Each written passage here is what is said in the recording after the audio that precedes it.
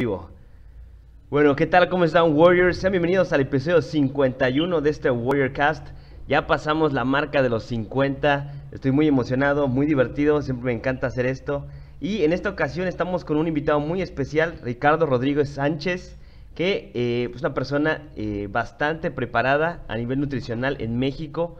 A mí en lo personal me ha hecho cambiar bastante mi enfoque, mi, mi forma de pensar acerca de nutrición y bueno, eh, sean bienvenidos acá. Eh, esperemos que les parezca interesante, eh, puedan sacar muchas cuestiones prácticas para ustedes mismos y para sus pacientes, clientes o atletas. Así que venga esa introducción y ahorita presentamos a Richie. Venga, vámonos.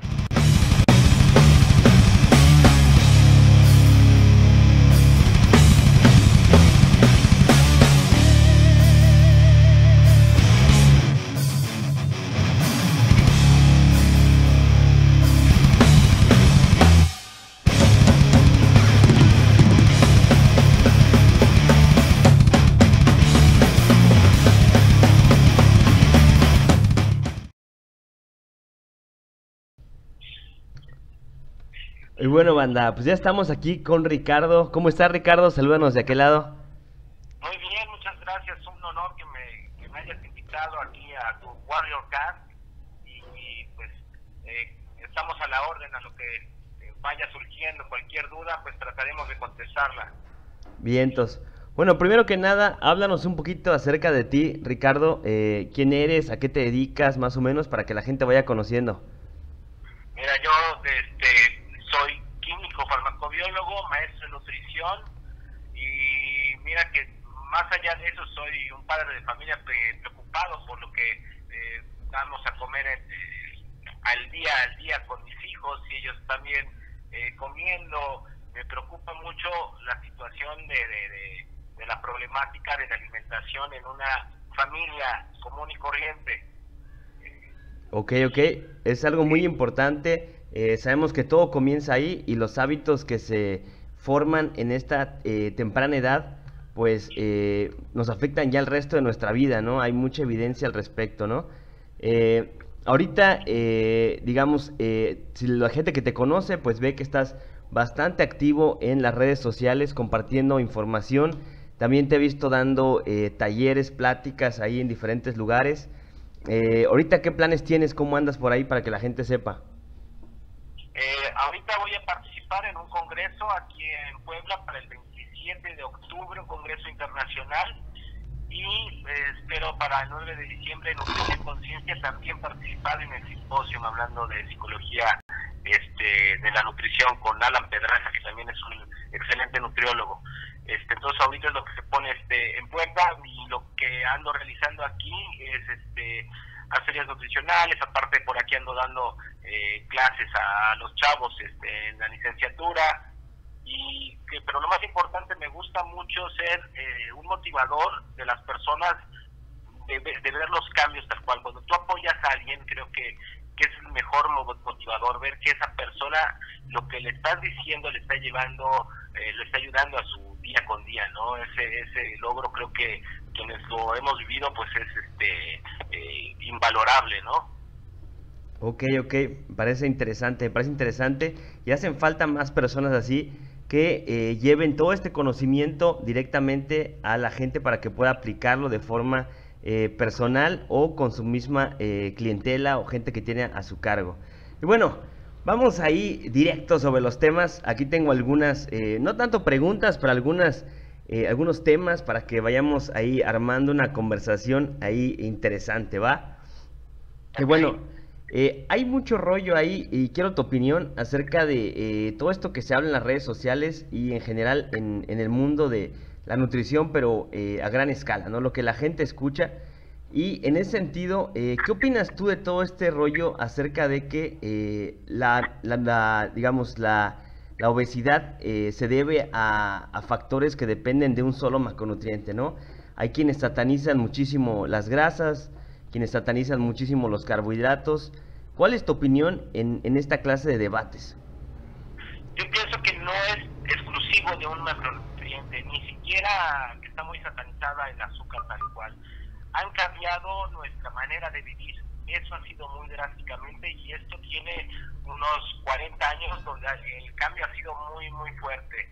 Eh, por ahí también a quien, a quien luego escucho sus consejos está Julián Vargas y, y sí, ¿no? Una de las cuestiones más importantes en nuestra vida fue el que estuviéramos eh, cocinando este, con el fuego, pero sobre todo ahora nosotros hemos dejado la cocina y estamos comiendo, eh, en primer lugar, a cada momento estamos comiendo eh, un cúmulo de, algo que se asemeje a un alimento que no lo es tal cual, pero lo estamos comiendo de manera muy frecuente. Tampoco es satanizar un ultraprocesado, algo que está empaquetado. El chiste es que lo estamos comiendo de manera más frecuente a lo que fuese un alimento real, a lo que fuese un pedazo de, de carne, a lo que una rica ensalada. Nos estamos dejando mucho esto y, y estamos comiendo más sustitutos de alimentos, estamos comiendo más productos y también estamos dejando la cocina. Entonces, eso es bastante importante. Y bueno, y otro aspecto muy importante, pues es la vida sedentaria, pero pues para eso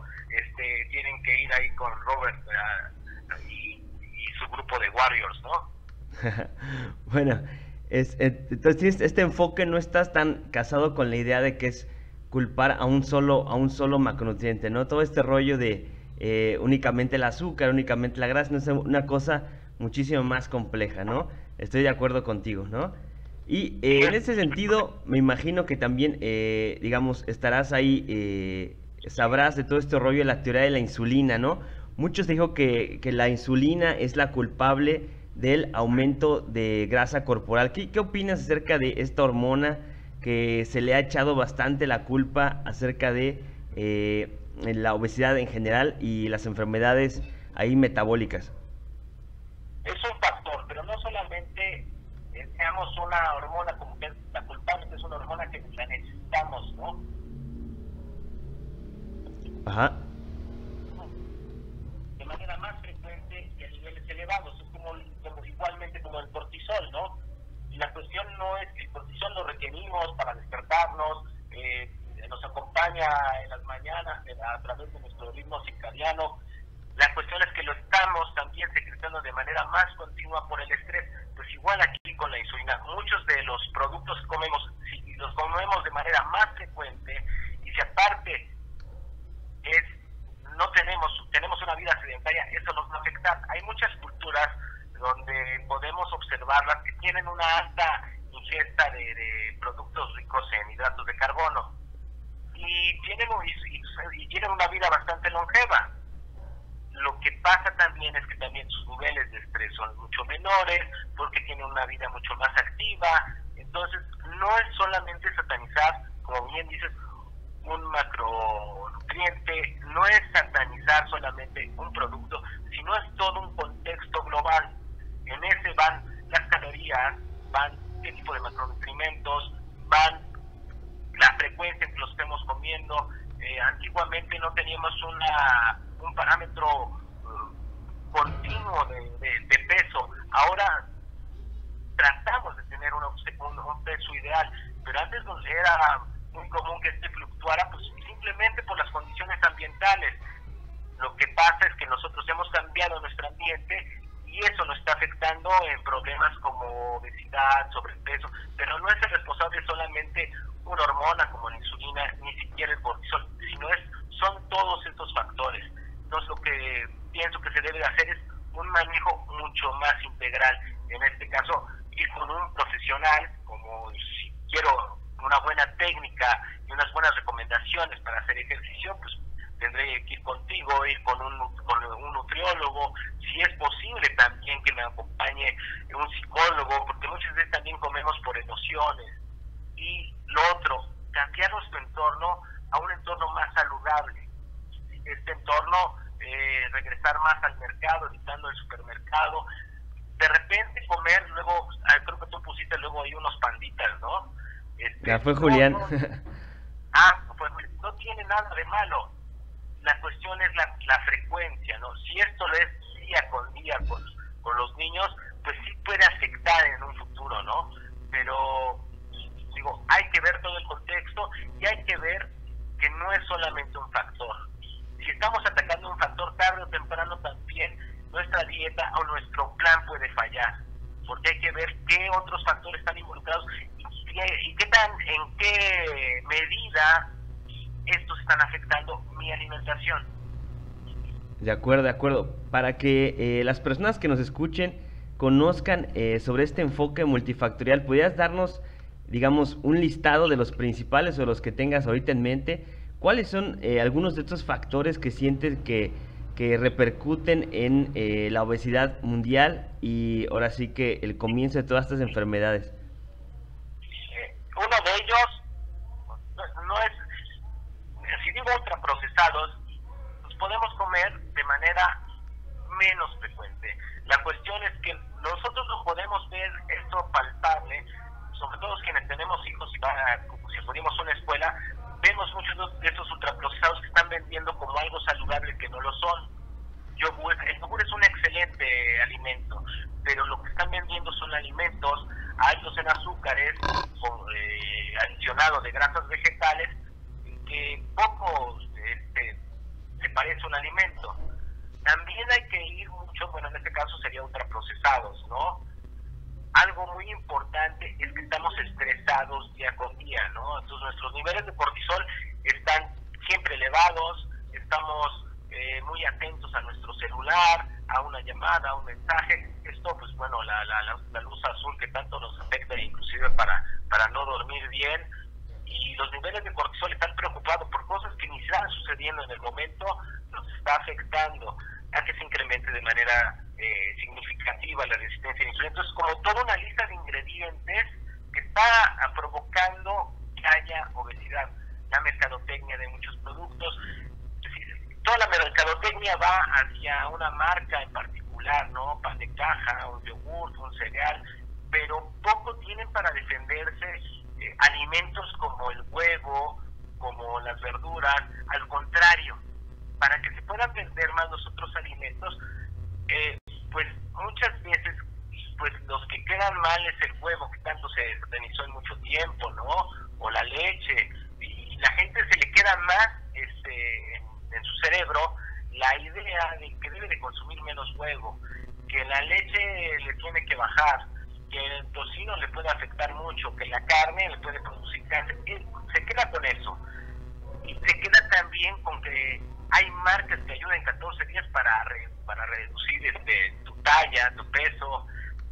Entonces, una cuestión ahí bastante importante. Entonces, si vamos contabilizando ahí, es los ultraprocesados, la mercadotecnia, en los niveles de estrés, la vida que es más, más sedentaria, son, son muchas cuestiones. La otra es la accesibilidad también a los alimentos.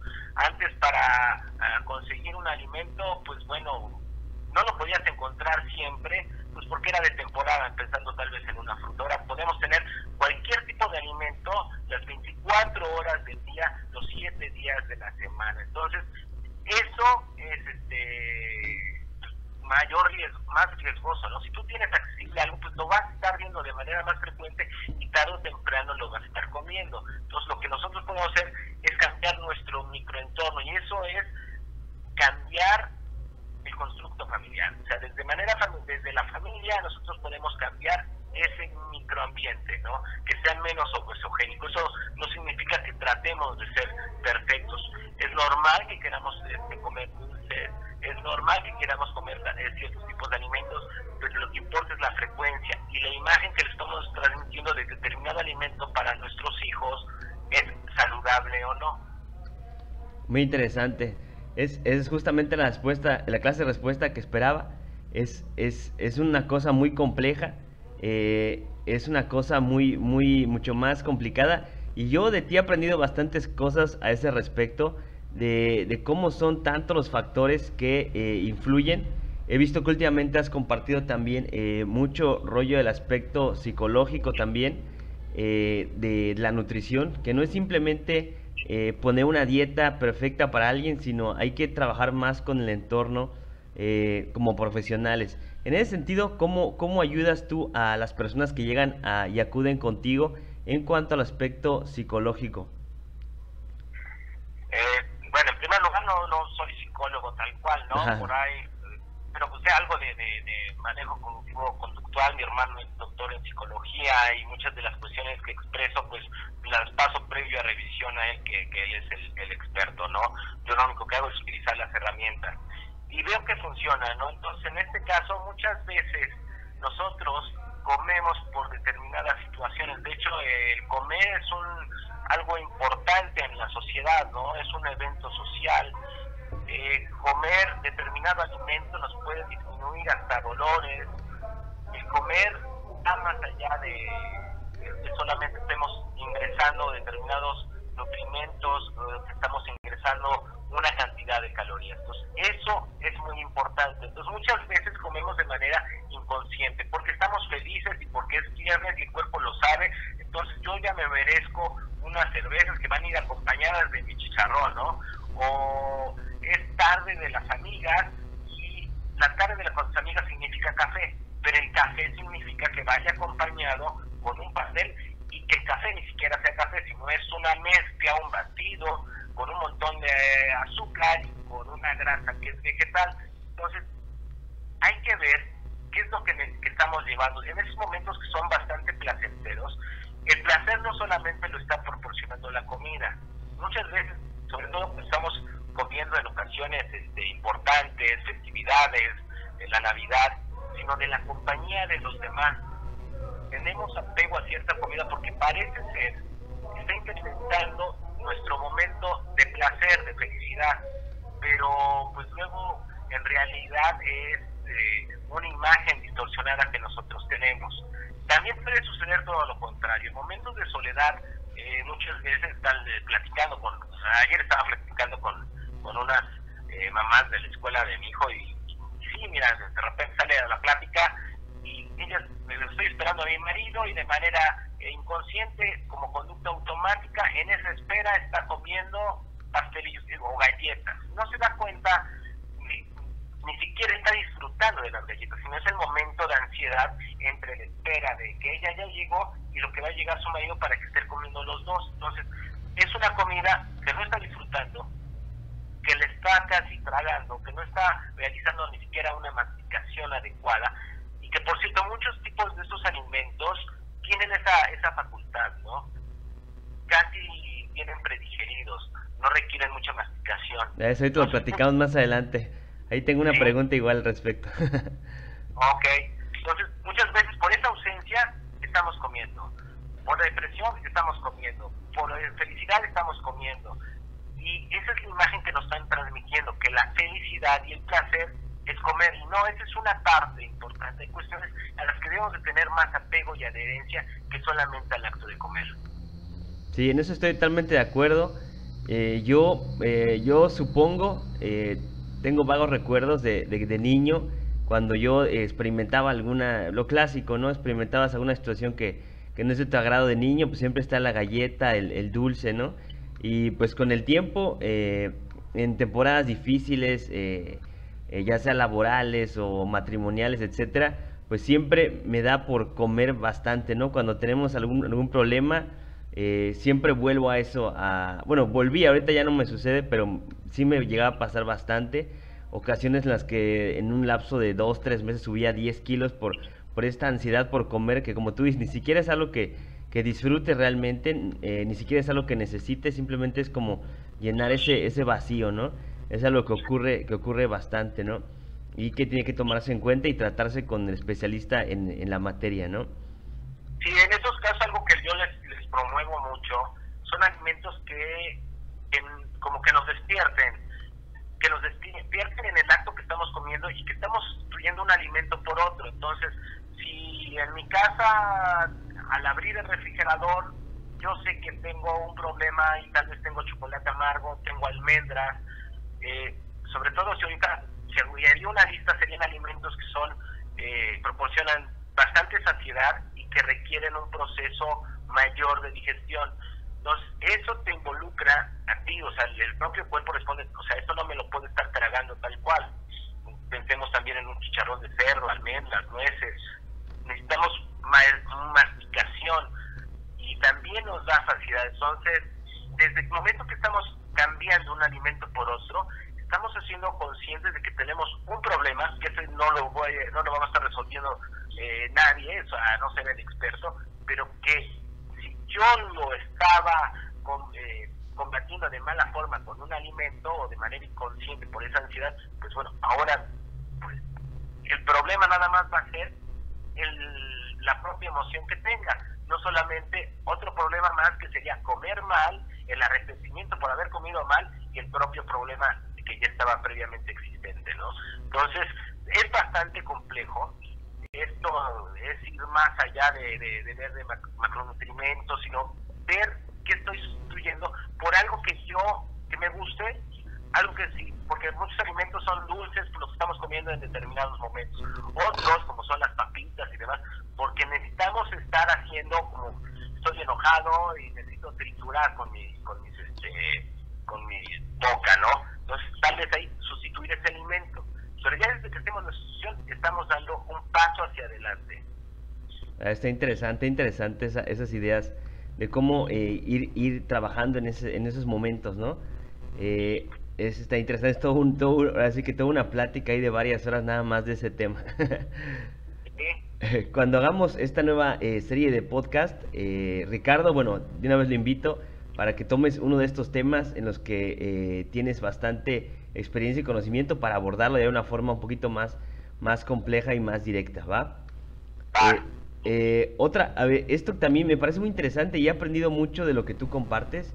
Es esto que estabas ahorita mencionando y es cómo, cómo es que todos esos, cómo, qué diferentes factores ocupa la industria de la comida chatarra, como se le conoce comúnmente, o hiperpalatable, ¿cómo, eh, ¿qué diferentes estrategias, qué diferentes eh, aromas, sabores, texturas, eh, como tú mencionas ahorita, el hecho de que vienen prácticamente predigeridos, todo esto, ¿qué, qué, qué, herramientas ocupa la industria para, para ahora sí que seducirnos a, al consumo de sus productos?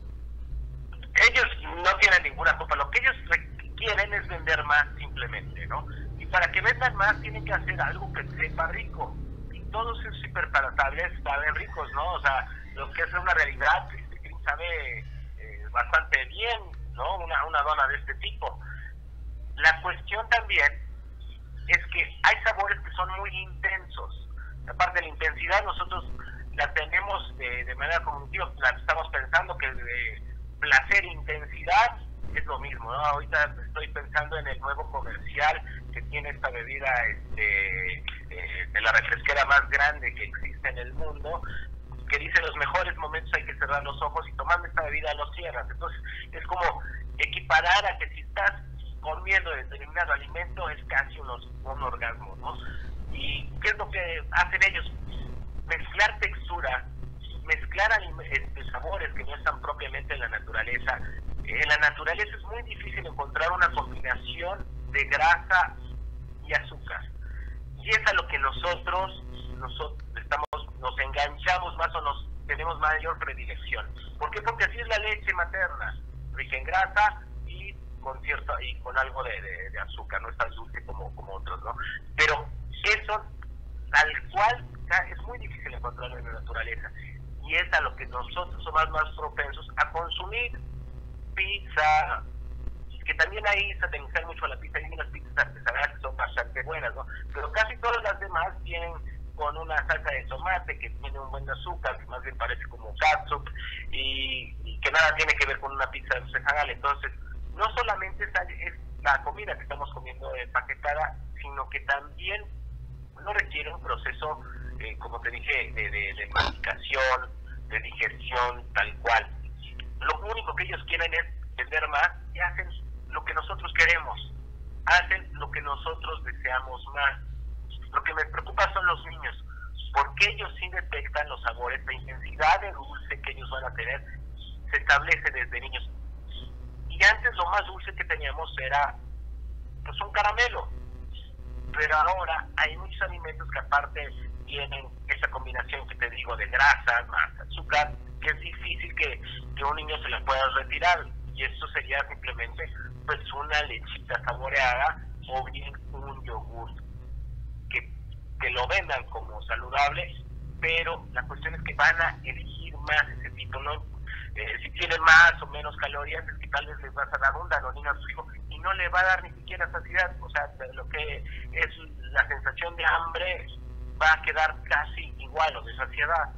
En realidad está comiendo un postre más. Sí, así es. Y me acuerdo, por ahí compartiste un paper interesante hace un tiempo de cómo hay aspectos en los que uno ni siquiera piensa, pero que también contribuyen muchísimo a que uno consuma más un producto, como es esto de lo burbujeante de las, los refrescos. Eh, ahí estaba, eh, sí, estoy seguro que tú lo compartiste, que, hablaba de cómo el, lo burbujeante, el refresco, generaba una, eh, una satisfacción que estaba bien, bien medida y es una de las razones por las cuales preferimos la soda sobre el agua natural, ¿no? En, general son tantos, son muchas estrategias así, bien diseñadas para vender más, ¿no? No, no, no, que, no pensemos que es una conspiración contra de, la humanidad, pero sí es cuando menos eh, están yendo tras pues el dinero, ¿no? Tras las ganancias en cuanto a la venta de todas estas cosas y pues están jugando ahí con, con, cosas que nosotros sentimos y con este hecho de que son alimentos que no existían en la naturaleza y pues que son muy, muy agradables y muy, eh, muy casi casi adictivos para, para las personas, ¿no? Sí, es correcto. Y, no es que pensemos están haciendo una conspiración tal cual, pero también nosotros como consumidores, si, si vamos fomentando más que lo estamos nosotros eligiendo otro tipo de alimentos, por ahí veo algunos colegas que están haciendo este una este, crema de maní bastante buena. Entonces, si cada vez nos estamos prefiriendo más ese tipo de productos, pues la empresa tiene que voltear y va a hacer algo mucho mejor y más adecuado a nuestro estilo de vida. Entonces, nosotros también tenemos un poder bastante grande en lo que, en lo que nosotros vamos a querer. Y es nuestro poder de, de decisión como consumidores. Entonces, es algo bastante importante. Y sí me estaba acordando ahorita del paper que, que, que, estaba ahí, eh, y esto porque luego pensamos que solamente es los, refrescos por la cantidad de, azúcar y por ahí por ahí el doc Diego que anda en nutrición decía no es que solamente también es que esté frío y es la cantidad de, de gas que tiene entonces son muchos factores para para pensar en por qué estamos eligiendo un producto. Aparte que te le están vendiendo que ese producto es el de reunión familiar por excelencia, ¿no? Puede ser una bebida tal cual. Pues, hay muchas cosas allá detrás que eso ya es mercadotecnia, ni siquiera es nada que tiene que ver con la nutrición. Sí, exactamente. Es todo una, una, una industria, todo, todo, eh, un montón de factores que se ocupan para, para hacer que las personas eh, elijamos esta clase de productos, ¿no? Y desde tu punto de vista, eh, bueno, ya has sido como que hablando a lo largo ahorita de esta charla acerca de eh, soluciones que podemos ir, ir, ir haciendo, como esta última que mencionas, de ir nosotros mismos como consumidores eh, desviando a la industria hacia producir productos que nosotros estemos comprando, ¿no? Con nuestra compra, a final de cuentas, es como una especie de votación hacia, hacia el, digamos, el futuro donde queremos que la industria ponga el dinero, ¿no? Eh, en, ese sentido, eh, ¿qué otras soluciones ves, la de la evidencia científica actual, para esta epidemia de la obesidad que la verdad se viene bastante fuerte, junto con eh, la falta de actividad en, las personas, cada vez más joven también que, que, ya no hacen prácticamente actividad, pero en cuanto al aspecto nutricional, ¿qué, ¿qué soluciones ves o cómo ves el camino a seguir ahorita en los próximos años que se ven un poquito, ahora sí que oscuros? sí, la cuestión no se ve tan, tan alentadora, ¿no? Pero sí podemos hacer mucho. Hay algo que, que, que, veo alentador. Por ahí estoy viendo una, una pregunta que nos podían que cuál es nuestra opinión sobre, sobre los alimentos orgánicos, ¿no?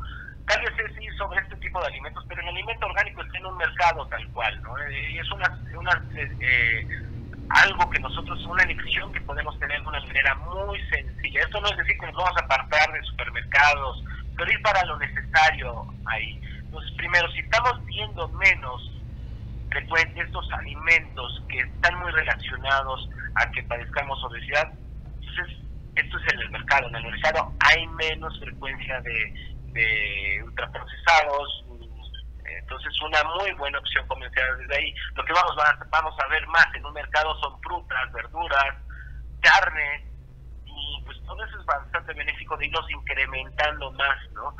Eh, eso es algo bastante importante. Eh, por ahí otra es la cocina. La cocina le hemos, le hemos dejado y más bien la cocina ahora la, la tenemos pensando como en un arte o en algo de comer de manera esporádica cuando antes forzosamente las madres de familia pues, estaban cocinando en casa. Se ha dejado también por el tiempo, entonces algo que se puede realizar, y te digo, y no, y no te estaba platicando nada de, de calorías ni macronutrientes, es tal vez realizar desde el domingo o sábado las compras, mejor que alguien nos ayude tal vez en este caso y con un profesional de nutrición, las compras de lo que se vaya a consumir. Y como la mamá tal vez no pueda realizar estar en la cocina todos los días, pues hacer un preparado y guardarlos en el refrigerador, ¿no? Hay, unos contenedores muy bonitos, creo que por ahí este, hay son unos como vasos, donde ahí puedes poner tu ensalada de día con día. Entonces, al abrir el refrigerador, ¿qué es lo que vas a ver? Voy a ver esto, y tengo varios aderezos distintos, ¿no? Entonces, algo que también se acomode a nuestra vida actual, porque luego, luego también quiere eh, profesionales en salud que se adecue el paciente a un ritmo que no tiene, que haga cinco comidas al día, cuando él nada más puede realizar dos, tres, entonces tal vez que esté consciente de cuándo tiene hambre, qué es lo que va a comer en ese momento, en qué momento, el por qué, o sea, puede ser que esté en la oficina, pues entonces ahí en su escritorio puede tener ahí eh, esta persona eh, almendras, nueces, que le van a favorecer tal vez su saciedad en, ese momento y para después que llegue a casa y haga una comida tal cual. Las directrices tienen que ir mucho ya en el contexto social y no esperemos que, el gobierno nos vaya a cambiar estas directrices. Lo que podemos hacer es cambiar estas, esta directriz, hacer eh, cuestiones de ya en nuestra familia y en nuestro entorno más próximo. No voy a esperar a que cambie el mundo, sino lo que puedo hacer es cambiar yo, cambiar mi familia tal cual, ¿no? Eh, estaba platicando ayer con una señora decir, pues es que le dieron una dieta a mi hija, le quedo, ah, caray, pues es difícil cuando una persona está comiendo distinta a los demás y los demás están manteniendo el mismo tipo de comida, se le va a antojar lógicamente, entonces lo mejor es, en ese caso, tener un equilibrio en la familia para que estén llevando una dieta tal vez para ¿qué es lo que va a cambiar? Pues las porciones, ¿no? Exacto. Sí, sí, se ve bastante, ¿no? El que está haciendo dieta y todos los demás comen lo que quieran, pues así es, es más complicado, ¿no? Son, eh, y, eh, como tú dices, ahorita no estamos hablando ni siquiera de calorías, ¿no? Yo siento que este rollo de las calorías eh, es como que para un, sector muy, muy pequeño de la población en general, lo mejor son un, un, cambio de hábitos, un cambio de, de, un, un poquito de conocimiento acerca de de, lo que, lo que, cómo se deben organizar las comidas y no tanto estar todo en este metido en este rollo de conteo de calorías. No que no funcione, pero funciona para una cantidad mínima de personas. ¿Tú qué opinas ahí con todo este rollo de, de contar calorías? Sí funciona quienes más pueden ver, ahora sí que si se ajustan marcos y más son los quienes están en un gimnasio, en este caso eh, tú, por ahí Alberto, sí, ahí sí importa mucho que estén llevando de manera adecuada todos sus macronutrientes, ¿no? y ahí pueden comerse hiperpalatable de manera más constante. El riesgo sería cuando dejen de hacer ejercicio, eso lo vemos mucho en atletas de alto rendimiento, que una vez que dejan de hacer ese ejercicio, luego pues tienen problemas, ¿no? Pero en ellos no hay, ellos es más benéfico estar llenando sus calorías, sus porciones a cada momento. Pero en una familia eso difícilmente se da y aparte, si en una familia solamente lo hace un miembro de la familia y no lo apoyan los demás, va a costar más trabajo. Entonces aquí algo que, que, veo que es una solución, tal vez pronto, a futuro, es hacerlo esto de manera más social. El hacer un cambio en la no solamente para el paciente, eh, que es el que tiene, padece diabetes, sino toda la familia tiene que apoyarlo. ¿Por qué? Porque él va a comer sano y los demás lo pueden apoyar comiendo sano en su momento.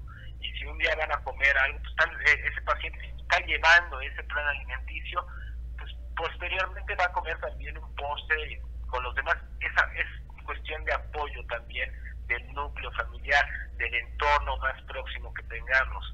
Entonces creo que es algo muy importante cómo vamos cambiando ello. Por eso para, mí es importante que se haga ya una escuela eh, saludable, que luego parece en broma, las escuelas supuestamente deberían ser más saludables, pero lo único que cambiaron fueron las porciones de determinadas productos que se venden y sigue estando todo igual. Entonces, eso es algo que se requiere y que haya más nutriólogos en las escuelas tratando de que esa eh, pandemia se vaya incrementando, que nuestras en, en, obesidad y en diabetes tipo 2 en niños se vaya incrementando y eso es ahí, ahí es donde podemos estar nosotros involucrados más. Y bueno, eh, no puedo, digamos, dejar a un lado esto que ocurrió apenas en el grupo de Nutrición Conciencia. Hubo un pequeñito debate ahí, pero que es interesante tocar ese punto. Eh, hubo un pequeño debate acerca de, pusiste eh, ahí una, una imagen de, de, un mamut como un alimento aprobado por no sé qué instancia gubernamental para, para venderse en las escuelas o algo. ¿Cómo estuvo el rollo ahí? y se suscitó un debate. ¿Cuál es tu opinión ahí? El contexto. Ajá. si hay un mamut que está avalado por la escuela, yo lo que, mi, punto de vista, digo, una cuestión es eh, la nutrición llevado para quien hace ejercicio, quien está en un gimnasio, y para un niño que tal vez el mensaje es que lo, eso lo puede estar comiendo tal cual. O también nosotros, la mamá, queramos o no, padres de familia no tienen los conocimientos adecuados.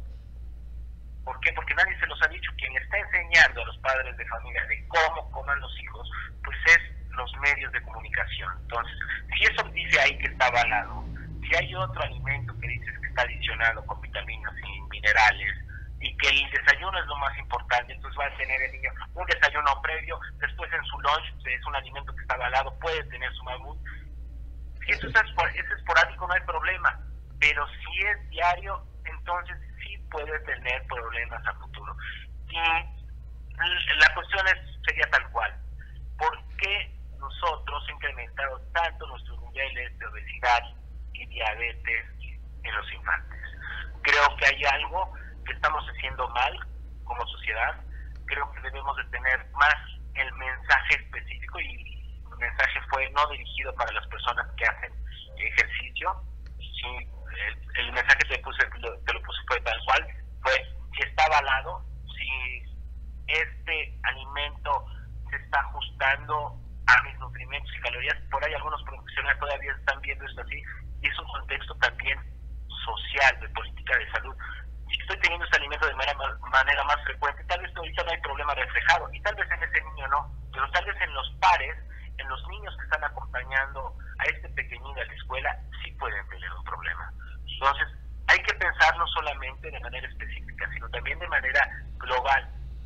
Y tú que estás ahí con tus guardias, no se preocupen, pueden comer su mamut de manera esporádica, pero algún niño que lo esté comiendo diario, tal vez no sería tan conveniente. ¿Y qué opinas tú? Eh, yo tengo esta, eh, digamos, no es mi especialidad, pero eh, yo he visto que, por ejemplo, digamos, en los niños, el exponerlos a esta clase de alimentos como que ya reduce la, ahora sí que el gusto por la comida real, por la intensidad de estos alimentos. Y yo siento que hay una etapa como que muy formativa en los niños pequeños donde, digamos, el mismo, el mismo cerebro está, digamos, encontrando, generando sus primeras redes neuronales, sus primeros años de plasticidad cerebral y exponerlos de forma continua a esta clase de alimentos pues ya los va a generar un problema que prácticamente será de por vida. A mí me da esa impresión, no sé qué, no sé cuál sea la tu postura o la postura en, cuanto a evidencia científica al respecto. Sí, sí, hay un libro bastante bueno que es de la psicología del comer, de Jane Ogden, y ahí lo establece inclusive por edades. Hasta los seis años, los niños están detectando nuevos alimentos, eh, también en este caso su plasticidad neuronal está... Eh, incrementándose de manera eh, a ritmos muy, muy rápidos, pero también lo, que sucede aquí es que si estamos de manera constante ciertos alimentos, tarde o temprano en su vida adulta, son las elecciones que van a estar teniendo. Estamos poniendo en esa, en esa edad qué tan intenso tiene que saber. Estamos diciendo cómo deben de saber los alimentos.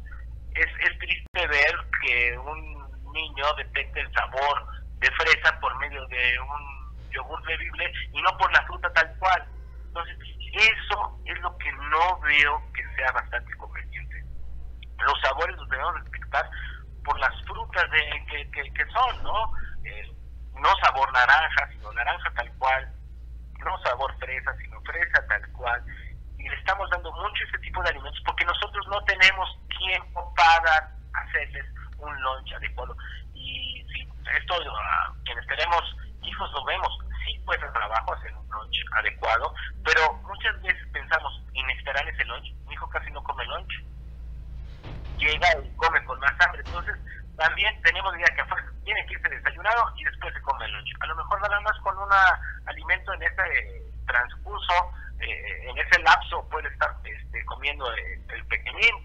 Entonces, sí estamos afectando mucho, hay con nuestras elecciones y ahí sí somos muy responsables por ser tan flojos y, no llevarles algo más saludable para con nuestros hijos. Y van a hacer el gasto, hay muchas escuelas donde tal vez se ponen de acuerdo con la cocina y dice, pues hágale este menú y que tenga esta preferencia.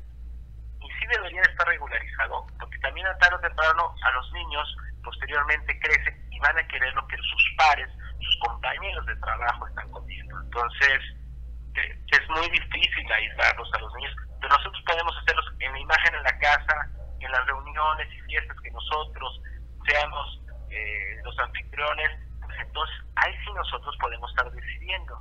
Y si no tienen la costumbre de que estén tomando jugo siempre, pues ese día lo tomarán, que estén en la fiesta de otro amigo y no pasa nada. Pero lo importante aquí también, otro punto muy importante es la frecuencia. Ok. Va, va, va. está interesante, está interesante todo ese rollo. Pero eh, sí, bueno, ya con esto que me dices, refuerzas esta, estas nociones que tengo acerca de, la importancia de los primeros años, de que no podemos simplemente eh, eh, pensar que tenemos un pequeño adulto ahí nada más que va a aprender a elegir eh, los mejores alimentos, sino que estamos en un proceso de formación de ese ser humano y dándole los parámetros sobre los cuales va a, formarse su eh, alimentación, eh, ahora sí que inconsciente a lo largo de su vida, ¿no? Hay que tener mucho cuidado ahí con, este rollo, ¿no? Así es, Robert. Y no solamente la comida, sino el lugar de comida. Si el niño está pensando desde que es placentero, McDonald's, que es un lugar donde puede estar, por, se está recreando porque hay juegos y realmente nos preocupa mucho la seguridad y ahí el niño va a estar más seguro jugando, pero el chiste es que está comiendo ahí y está identificando que esa comida desde ahí está siendo placentera, que le está proporcionando momentos de felicidad y que ese es el lugar de felicidad. Entonces, no solamente es eso, sino también hasta el, entorno social y el, lugar geográfico, tal cual. Sí, son tantas cosas. Es, está, está bien interesante todo ese, ese relajo. Y, y me da gusto que, que, que, lo digas y que hay una persona que lo esté eh, digamos, promoviendo y educando a todas los profesionales, las personas en general, acerca de, todo esto, cómo es tan multifactorial.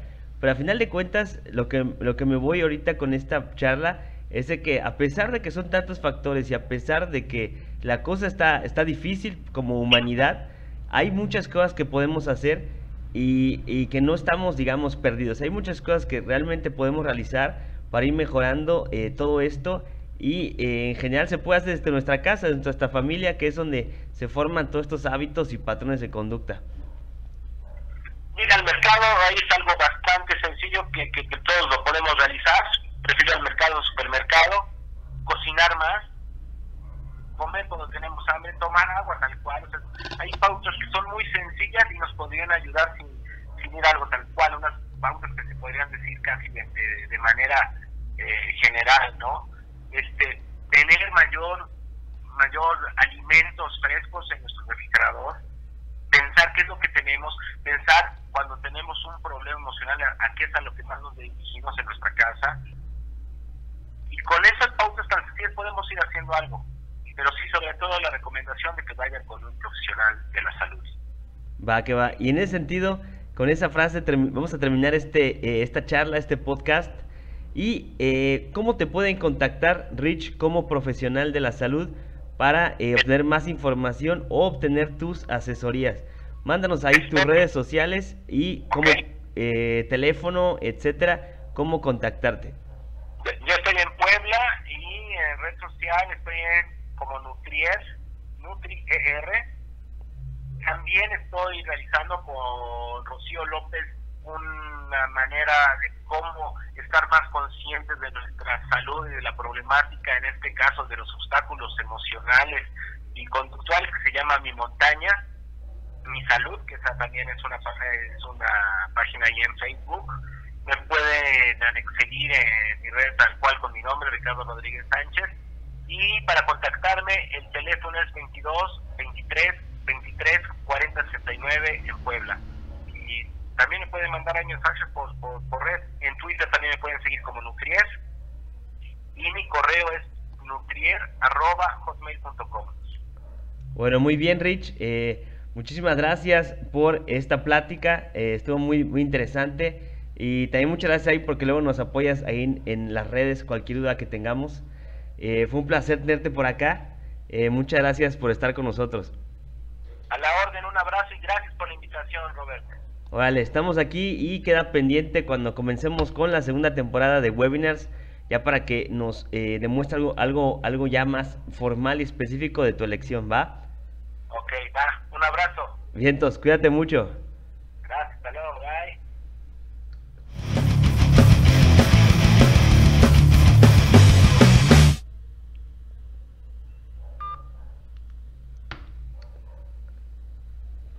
Bueno, Warriors, ese fue eh, Ricardo Rodríguez Sánchez.